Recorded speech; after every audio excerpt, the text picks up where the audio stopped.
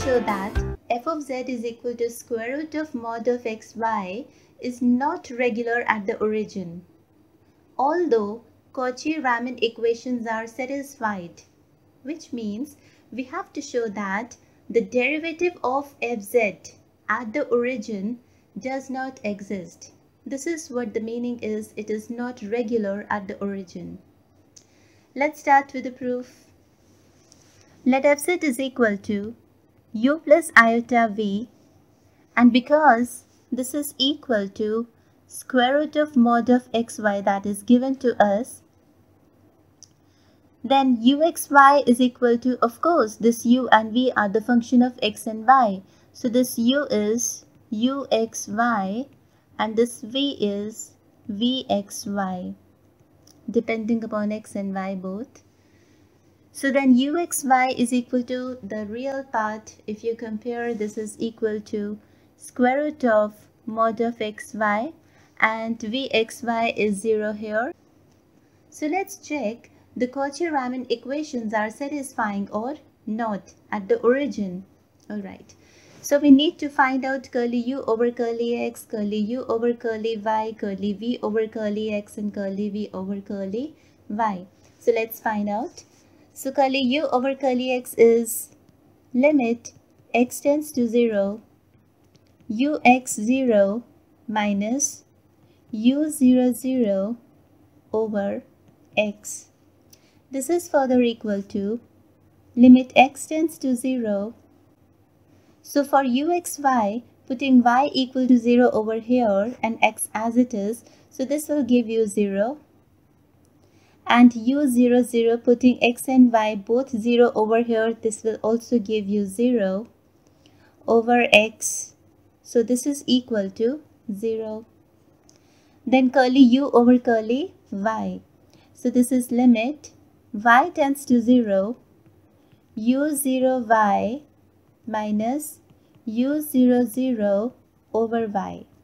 So this is equal to limit y tends to 0 Putting the value x as 0 and y as it is in uxy, we get this as to be 0 and u0 0 again is 0 over y and this is equal to 0. Similarly, we can find curly v over curly x as so this is equal to limit x tends to 0 and vx0 because vxy is already 0 over here so this is 0 minus 0 over x and is equal to 0. Then curly v over curly y is limit y tends to 0. Again this is 0 minus 0 over y equal to 0. Okay, clearly Cauchy-Riemann equations are satisfied. What are the Cauchy-Riemann equations? Curly u over curly x is equal to curly v over curly y and curly u over curly y is equal to negative of curly v over curly x. Now all these partial fractions are 0. So Cauchy-Riemann equations are satisfied. But what about the derivative at the origin?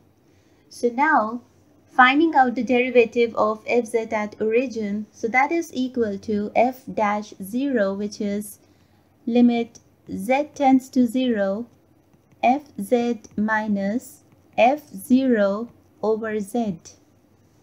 This is equal to limit z tends to 0. What is f of z? It is square root of mod xy minus f of 0 means we have to put z is equal to 0. So z is what? x plus iota y. So this is equal to 0 can be written as 0 plus iota 0. If you compare so x is coming out to be 0 and y is also 0.